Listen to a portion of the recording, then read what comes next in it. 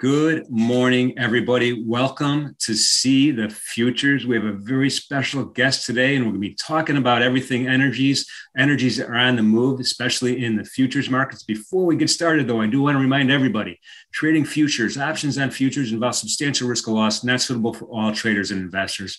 Oftentimes in futures trading, you have a high combination of leverage and volatility. And although that could be an equation for opportunity, which I think is why we're all here, it's also an equation for risk. So be careful. Only fund your futures trading account with risk capital. My personal definition of, definition of risk capital money I can afford to lose, doesn't change my lifestyle, doesn't lengthen my retirement horizon, and doesn't overly stress me out. Stress is a big deal. We make bad decisions when under, under stress. So be in a good spot.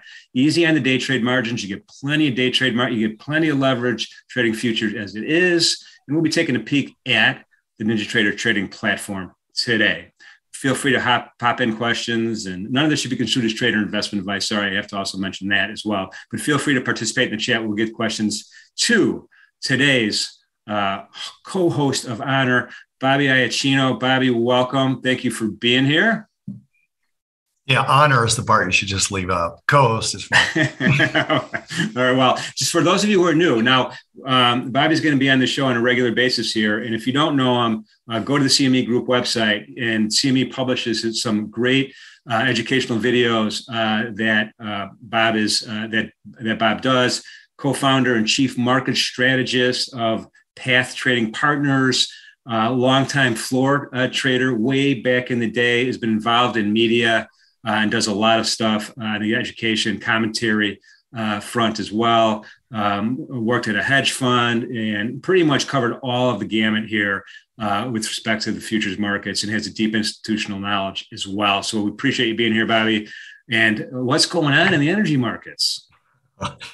Well, there's two things I'm looking at, and we will have the EIA numbers out during the show, which will be nice. But couple of key points is you want to take a look at, at natural gas first and foremost because it's got the biggest move relative to its recent history.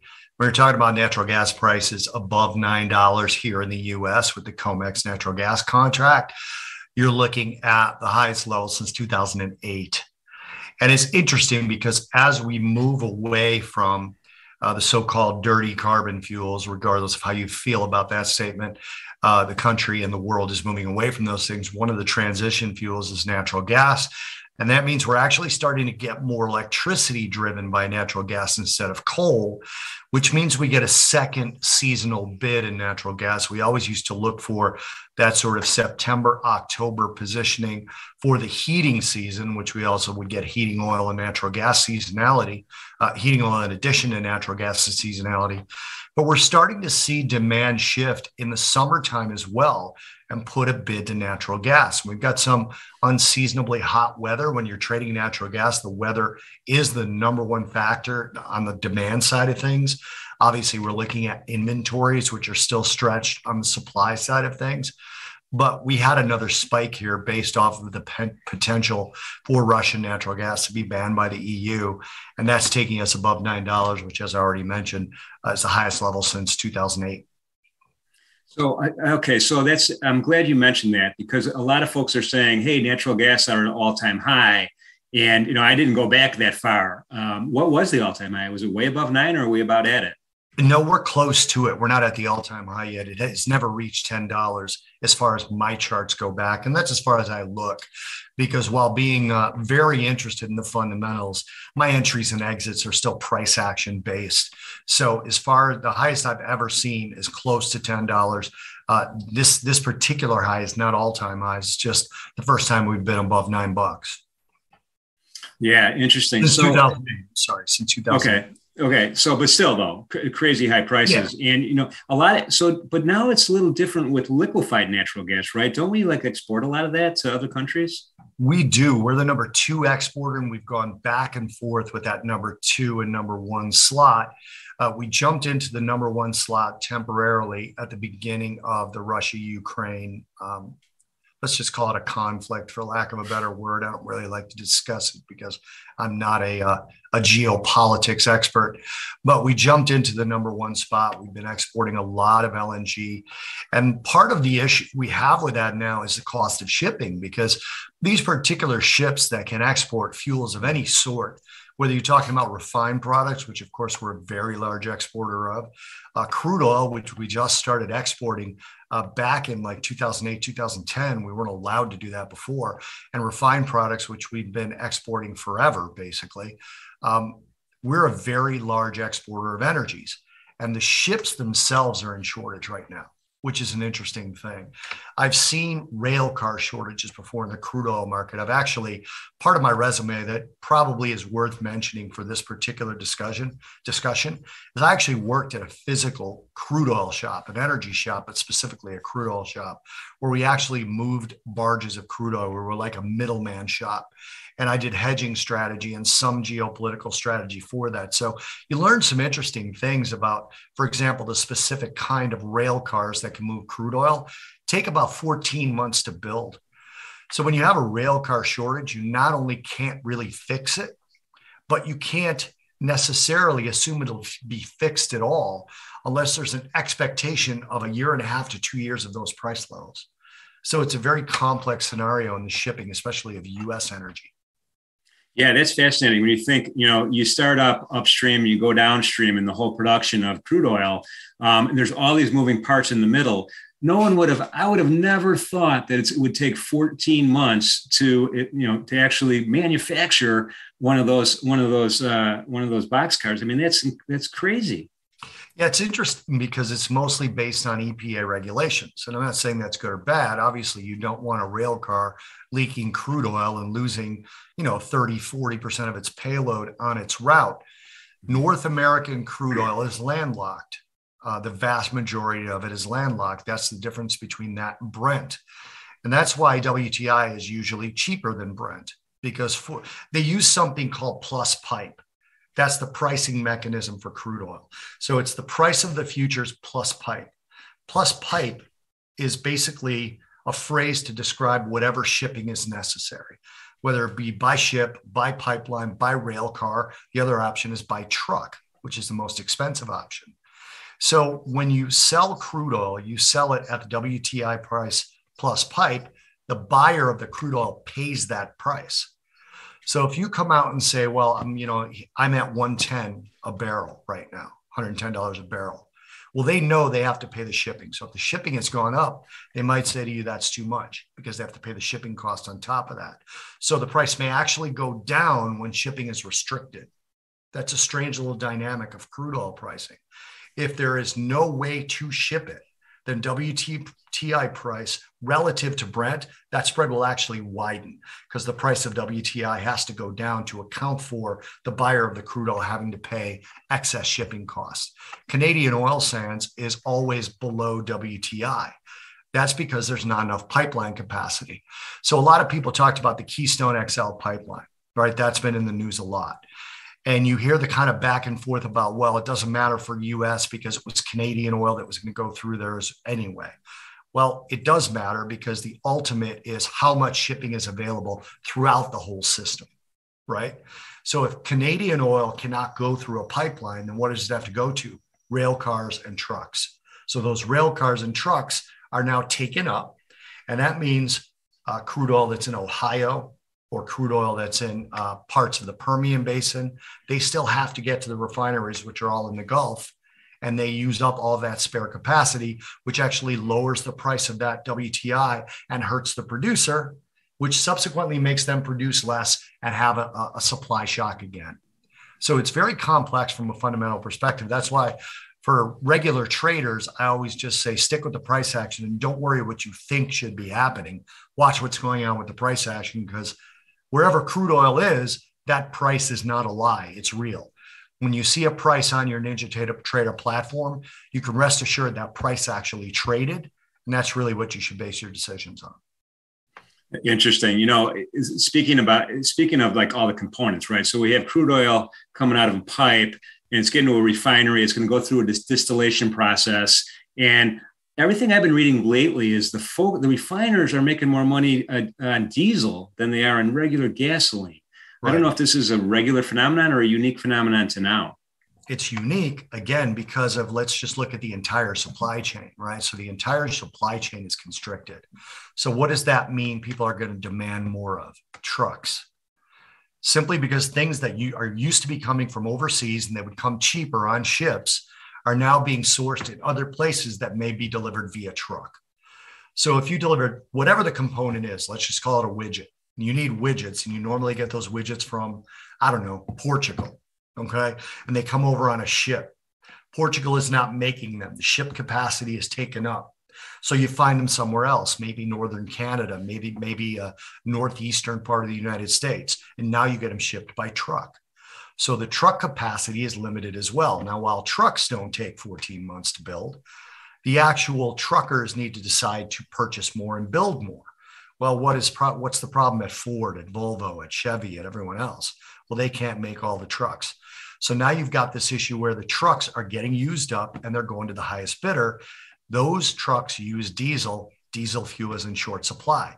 So refiners, and this was going to bring me to another point I wanted to talk to people about. One of the interesting components you could look at when you're trying to figure out short term demand, okay, is refinery utilization. That is something that is widely ignored by traders.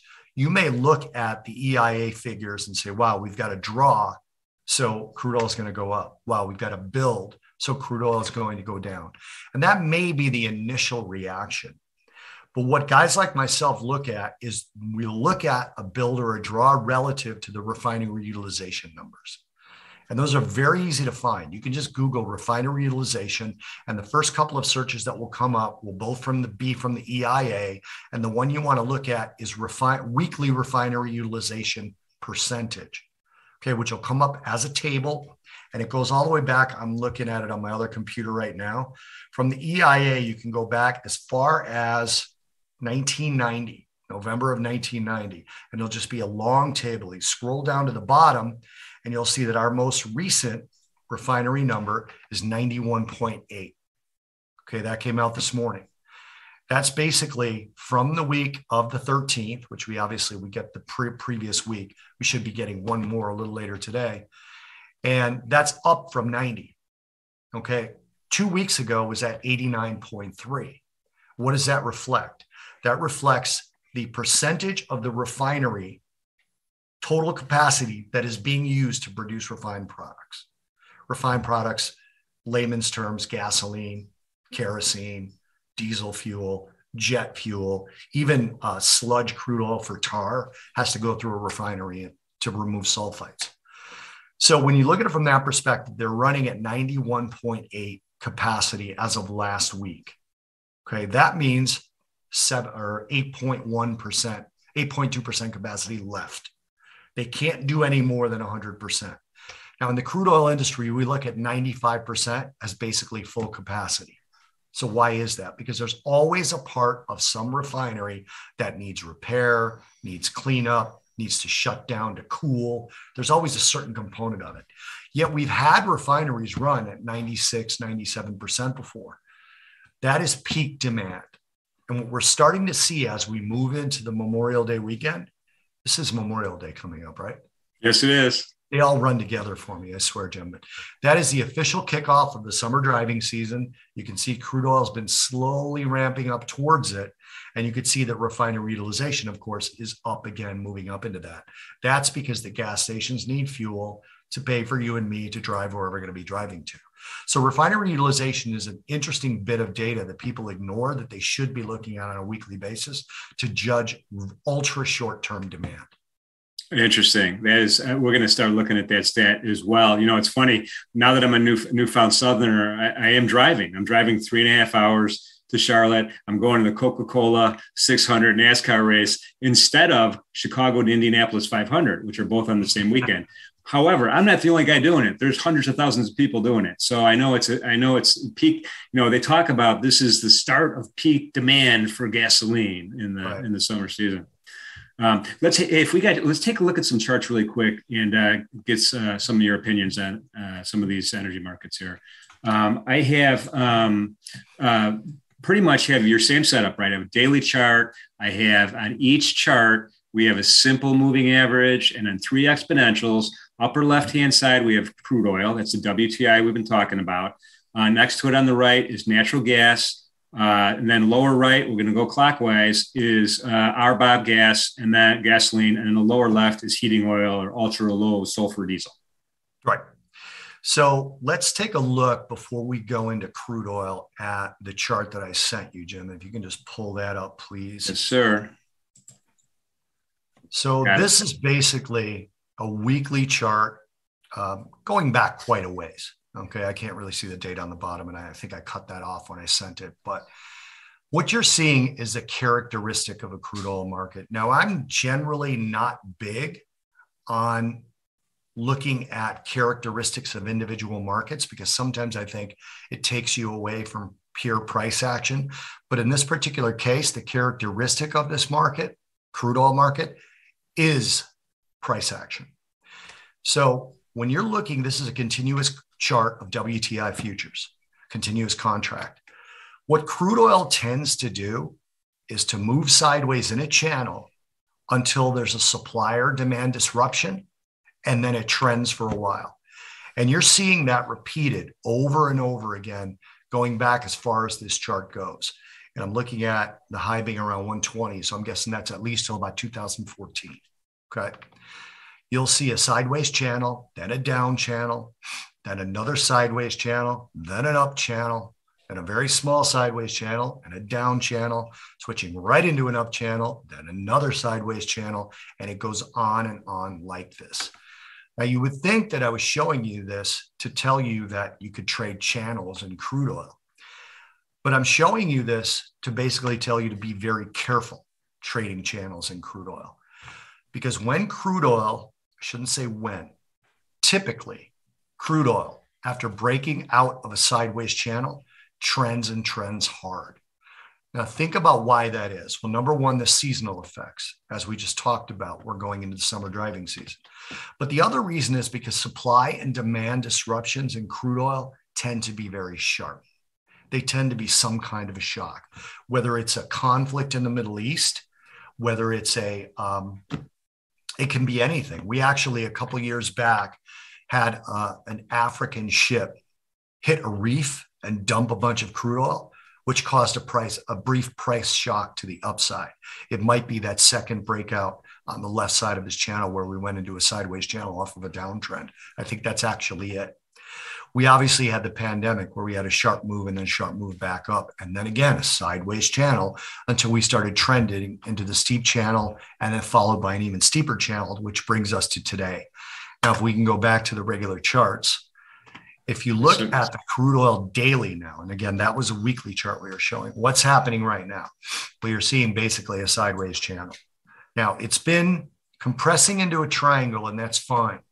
But what crude oil tends to do when it forms one of these right triangles or even a, a an isosceles triangle, doesn't really matter, it tends to move back into the upper part of what would be a channel.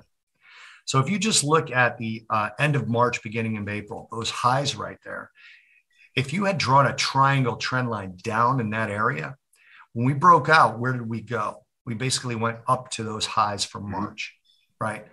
Now we end up in another big sideways channel, starting in about March, going to the highs we had a couple of days ago, right? If and when this breaks out, it's likely to trend. And what's going to cause it to trend? Some sort of demand or supply disruption. So we already know that demand is picking up. I just looked at the new EIA data that came out while we were talking.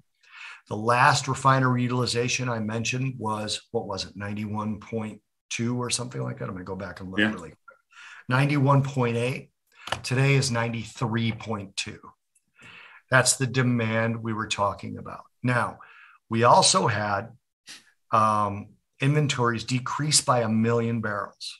Okay. That's not huge. It was probably expected to be more than that. And you're seeing a little bit of pressure on crude oil in the current chart. It's not breaking out up or down. I'm not giving you guys a trade here, and I'm not telling you to do this. As a matter of fact, I'm telling you not to do this because you need a price action reason to do this. But I suspect with that stronger refinery utilization number, all else equal, we're probably going to break out up today or tomorrow. Okay. No, I don't have a position on. So again, I want to stress I'm not telling anyone to get long crude oil. As a matter of fact, I'm doing the opposite. But if we were to break out above this channel line that you just drew, okay, that longer channel to the upside, and then come down and test it, and that line were to hold, it would be my price action opinion that it would likely go back up to those old highs of around 128, 130. The high on this chart, I believe, is 130.50. I wouldn't be targeting that. I'd be targeting the opening price of that long red candle toward the beginning of March. That's what I'd be targeting as a place to either get out or trail a stop. Um, that would be a reason right around there. That'd be a reasonable target for a breakout up. But I would still want to see it break out of this channel, come back and test the top of the channel and have that top hold. And that would, for me, be a trigger to potentially get long. What would then happen with these, what would likely happen with these moving averages we have that Jim mentioned, for those of you that don't know, it's an eight exponential moving average and a 21 exponential. We call that a rotation zone. Okay. What that rotation zone is starting to do right now is angle up and widen. And that's when it becomes effective. We don't look for crosses on this. We don't look for anything else on this. When that angles up, turns from where it is right now to this and starts to widen apart, it becomes an effective support level and it's a dynamic support level. So you don't necessarily have to be waiting for the static support levels of old highs or old lows or breakout levels. You can follow that rotation up and adjust your trailing stop as per that rotation zone. Very awesome. All right. So let's just shoot over here. Um, we know the crude oil story. By the way, EIA.gov is the URL for that website. You could you could lose a weekend easy just going through yeah. there with all the information that they have in that particular. That's website. why I tell people all the time: look at the the draw versus what was expected, or the build versus what was expected. Then check the price action. If the price action doesn't make sense, you'll likely find the answer. Not always, but a lot of the times in the EIA refinery utilization figure as to whether it went up or it went down because it represents demand on the ground today. Got it. So I just I want to pull up and get your opinion on on, on the heating oil. Uh, you know, so the the uh, moving averages are behaving a little differently in this market right. than the other two, and um, so not in that rotation on the on the way up. I guess would be what we'd say or no. Yeah, obviously, heating oil has a slightly different seasonal pattern than crude oil does. I mean, just by its name, heating oil, right? There's not, there are fewer and fewer homes that rely on heating oil, or more and more going to natural gas for heating. And there are really none that rely on it for cooling. Now, we do export some of this stuff. So you can see a little bit of a bid. Um, but I suspect that with this heating oil trade, you're likely to see just a slow rollover. It honestly, doesn't interest me interest me at all from a trading perspective.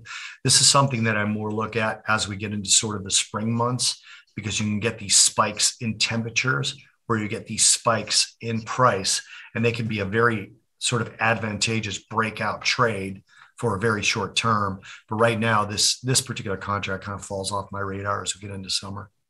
So I, I'm going to ask a question. I, you know, I know I'm not supposed to do this. You're not supposed to ask a question you don't know the answer to, but I'm going to ask it anyway. So, you know, in, two, in 2020, the International Maritime Organization said, "Hey, on all these cargo ships, you got to reduce your sulfur output to 0.5 from 3.5 percent, which means you either got to put a scrubber on your ship, which is really expensive, or you have to get you have you have to switch switch your fuel." Does right. any of these mark CME markets relate to that switch? Well, yes and no. I mean, the switch of the fuel, all of it at the end of the day becomes crude oil, but it's more of an effect on refiners than anything else. This ultra low sulfur diesel can actually be one of the the uh, fuels that they shift to. But what a lot of the people that I spoke to said is it actually becomes long term cheaper to add the scrubber.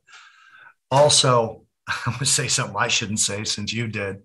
Um, there's a decent amount of um, wrist, uh, what would you call palm greasing to take care of some of this yeah, stuff in countries where there, it's actually that initial spike in March was part of that that you saw there on the bottom left um, was part of that.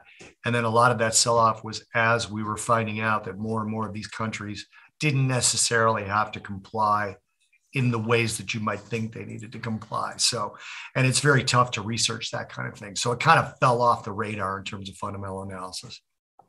Yeah, interesting. I, yeah, I was always interested in that. You know, and I thought it was fascinating. But that makes sense. That you know maybe the compliance uh, level of compliance is a little different than what we would expect ordinarily. so very, very awesome. Um, all right. I mean, so really, this is you know we we've covered all four of these more or less. Here's the gasoline futures on the right. Let's just peek. We got a couple minutes left. Yeah. Let's just peek at this real quick, um, and then um, I want to tell folks how to find you. But that's uh, yeah. So this particular, um, I, have been long this contract uh, since late April, and there is nothing on here telling me to get out of these longs. I've been trailing a stop basically at the lower end of the rotation zone, and you can see here that. So what I'll do is I'll trail my stop at a low below the rotation zone. Okay, so the first entry, which was a late April entry, I placed my stop below that one right right there, a little bit to the left. Um, you'll see that one red candle that has a long wick at the bottom of it right there. I placed mm-hmm. my stop below that because it was a low below the rotation zone, right? So we actually ended up getting a couple days before that, which was like, oh, here we go, but it didn't hit our stop, luckily. So we came up and then we started placing our stop, trailing our stop below the rotation zone. You can go about four candles over to another long wick that got into the rotation zone there, one more. And now we placed our stop below the rotation zone below that candle. As we moved on higher, we get another move into the rotation zone, about six candles to the right. And we did the same thing there, place our stop below the rotation zone and below that particular level. You can see now that that last spike below the rotation zone did not get below the previous low. Right. So we didn't get stopped out. Now, what we're getting now is a fifth move into the rotation zone. You can see one, two, three, four, five if you count mm-hmm. them out. Um, the rotation zone weakens after about five moves in. So basically, now I'm going to start to look for a targeted exit of this particular long trade. But from a fundamental standpoint, I expect no relief at the pump at all in the short term. And part of that is because number one, gas stations, people should know gas stations are not necessarily, as a matter of fact, there's very few individual stations owned by oil companies. So when you talk about gouging at the pump, it is not the ultimate oil company that's doing that. And it's been proven over and over again that's not happening. What ends up happening with these gasoline stations, they buy gasoline in bulk and they buy more of it when they see price going up because they know crude oil tends to trend and they can't drop the price until they get a new load at a lower price. Okay. Otherwise, they're losing money on those loads. So until you see crude oil go into a deep suspended drop, you're not going to get relief at the pump, and that uh, those gasoline futures are likely to be bid. Got it. And also, they're charging me twice as much for my Hostess Twinkies and my Red Bull when I go fill up the car. So we know where they're making their money. Um, anyway, uh, yeah, uh, um, really, uh, really great information. Really interesting stuff. Really appreciate you being here. How do folks find you? I know it's it's Bob underscore Iaccino at Twitter. Well, you yeah. guys are doing uh you and Jimmy have uh your uh your podcast going and the website going. Yeah, we also have a podcast which is available free on Spotify. It's called the Futures Edge podcast with Jim Iorio. I'm the co-host of that um, as well as basically I book all the guests and do everything on it. You can also find it on our Path Trading Partners YouTube channel. Uh, we do the podcast once a week and it's on there as well as my partner, Mike Arnold, does quite a bit of technical analysis in all kinds of different markets. So you may want to check out that as well. So Path Trading Partners YouTube channel. And then you, of course, can email me at support at Path Trading Partners if you want anything individually. Oh, that's dangerous. You might get some emails. That's okay. okay. No. We answer all of them. So in all seriousness, everybody who's listening, we, um, you know, when we do our opening range show and bars closing show, we go through and we listen to what the experts are saying in all the media, Reuters, at Bloomberg, go to the CME website, look at Bob and Jimmy's uh, videos and any kind of information that's coming out of these guys. It's important to me when I kind of decide, hey, what are we going to talk about? And what, what kind of trade ideas are we going to look for in the morning, afternoon? So I greatly appreciate that. And hopefully, and I know for sure the audience will as well. No, happy to be here. This is one of my favorite subjects, the energy markets. They're not traded enough, and the CME's got micro crude options coming out in June. So those are going to be great as well. Awesome. All right. Well, our time is up. Thanks again for being here, Bob. Really appreciate it. And I'm going to leave everybody off as I usually do. Please be safe out there. Be good to each other. Thank you for coming.